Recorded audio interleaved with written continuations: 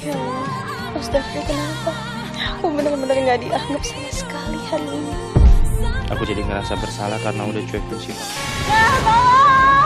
Saya cari bantuan yang mana kamu nggak? Ini pasti ulahnya Ilham. Ya masa kita harus nunggu 6 bulan untuk bisa buka deposit box yang punya Om Eros itu? Mas Rahmat sudah tahu kalau Siva itu adalah anak kandungnya.